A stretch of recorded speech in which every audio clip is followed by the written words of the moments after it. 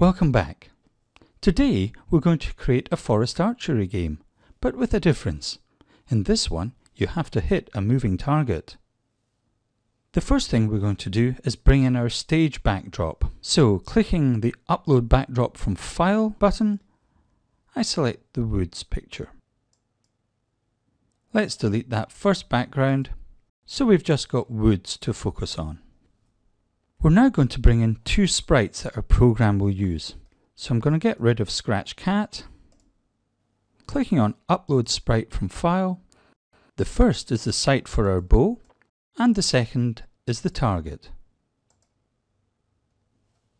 Now we're going to program our sprites with scripts. So starting with the target, and looking at my algorithm, my program plan, I'm going to program how to move it. So when the flag is clicked, repeat forever. So as soon as the flag's clicked, start repeating and we're going to move it. We're going to make it glide, so you'll see it as it's moving. And we're going to make it glide to a random position. So on the x-axis, that will be from negative 240 to positive 240. And on the y-axis, that's going to be from negative 180 to positive 180. So when the green flag is clicked, our target is going to, every one second, glide to a new random location on the screen. Let's see if that works.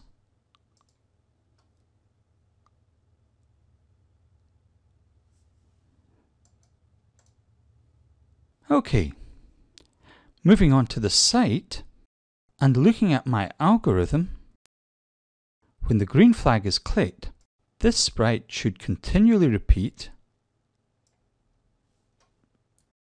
and it's going to go to wherever the mouse pointer is. Now, if the mouse is down, then we want to add one to score variable. So let's make a variable. We'll call it score. And remember, clicking the tick at the side of the variable allows you to show or hide the variable on the screen. By double-clicking the variable display on the stage, you can change it to displaying just its value, to a slider where you can change its value, or to display the variable name with its value, and I think that's what we want. We're going to change the score by 1. We're then going to play a sound, and pop I think is the one we want.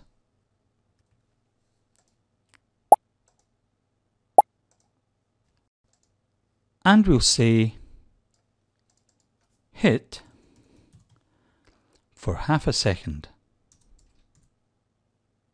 But importantly, we only want to do all of this if the sight is touching the target when the mouse is down.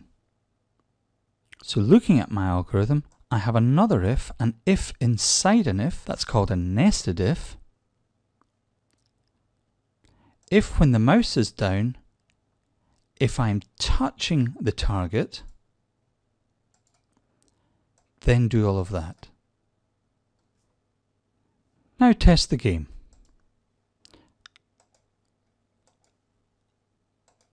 And as you can see, I'm not very good at this. I'm sure you'll be much better, but there we have a working forest archery game with two sprites and a small amount of programming. Enjoy the game and try the additional tasks to make it more interesting.